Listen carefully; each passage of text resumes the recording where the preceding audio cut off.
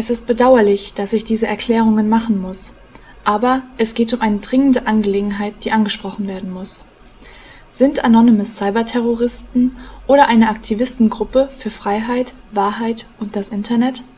Nein und ja. Die Anfänge von Anonymous machen es schwer, die Gesamtheit des Wesens zu verstehen. Anonymous sind einfach Ideen ohne Ursprung, sei es ein Satz, ein Trend, ein Adjektiv. Das Konzept von Anonymous hat es schon immer gegeben. Anonymous jedoch, wie wir es jetzt kennen, wie es sich gegen die Church of Scientology, gegen Copyright-Lobbyismus und für zensurfreies Internet einsetzt, begann als ein Imageboard in Japan vor fast einer Dekade. Ein Ort ohne Regeln, ohne Thema, ohne Identität, Bilder und Texte ohne Autoren.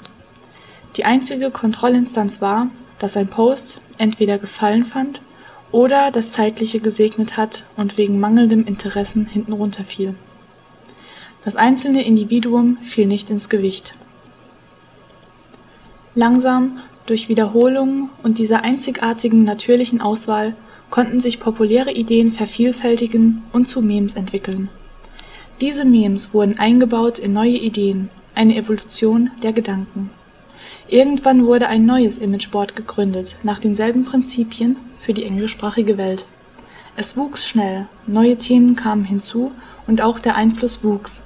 Ein öffentlicher Club mit geheimen Mitgliedern, ein ganzes Ökosystem der Gedanken. Die Vielfalt von Anonymous ist so vielfältig wie der Mensch. Und so auch wie der Weg des Universums, das Gute mit dem Bösen, das Rechte mit dem Linken. An einem Ort, wo das Alter eines Posts in Sekunden gemessen wird, kommt Veränderung in einem Augenblick und ändert alles. Anonymous ist die Summe seiner Mitglieder geteilt durch unendlich. Als Anonymous noch jung war, war Anonymous unreif und kindisch, für die Mehrheit nur für Kreativität und Unterhaltung gut. Die dunkleren und unheimlichen Aspekte sammelten sich langsam in den Schatten Bald vergifteten sie Anonymous, und Anonymous musste wählen: entweder das natürliche Chaos weiter walten lassen oder selbst gegen das Wesen von Anonymous vorzugehen. Die, die das Medium kontrollierten, die Server, fällten die schicksalhafte Entscheidung, diese grausamen Teile von Anonymous zu vertreiben. Es folgte ein Krieg, der fast eine Ewigkeit andauerte in der Zeitrechnung des Internets diese Schattenseite von Anonymous spaltete sich ab und gründete eigene Imageboards, wo sie tun und lassen konnten, was sie wollten. Die Mehrheit dieser Splittergruppen war von der dunkleren Seite. Mit der Zeit starben diese Nischen aus oder konsolidierten. Sie waren meist die, die furchtbare Späße trieben. Sie sind rassistisch, weil es beleidigt. Sie frönen sexuellen Darstellungen, weil es zum Teil verboten ist. Und sie sind virtuell grausam, weil sie es können Jedoch können wir diese Aspekte von Anonymous nicht leugnen, genauso wie man die dunklen Aspekte des Menschen nicht leugnen kann.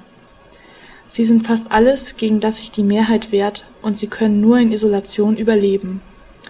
Auf der anderen Seite sind es die, die sich wagen, gegen Sekten, Diktatoren und übermächtige Konzerne aufzustehen.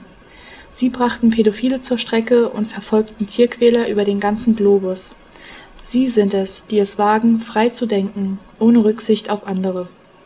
Und sie haben wahrscheinlich auch die Memes gestartet, die, die so groß und mächtig wurden. Trotz all ihrer Untaten, es waren diejenigen, die das alles gestartet haben. Aber bei Anonymous gibt es keinen Urheber. Ihr Anspruch ist genauso gültig wie der Anspruch jedes anderen. Sie sind nur ein Funke und nicht das Feuer. Jetzt hat sich die Summe von Anonymous noch mehr verändert. Jeden Tag mischen sich zwischen die Rabauken und Provokateure, Idealisten und Entschlossene, die motiviert sind, für die Sache einzutreten. Anonymous ist aus den Imageboards herausgewachsen, aus dem Internet, in die Welt, die wir kennen, in der Welt, in der wir leben. Wir sind gewachsen und wir wachsen weiter. Aus jedem Fehler lernen wir. Nach jedem Fehlschlag stehen wir wieder auf. Auf jedem Erfolg bauen wir auf. Es gibt keine Kontrolle, keine Führer, nur Einfluss, der Einfluss durch die Gedanken im Kollektiv. Es ist Zeit für mich zu gehen, aber wir werden uns sehen, auf der anderen Seite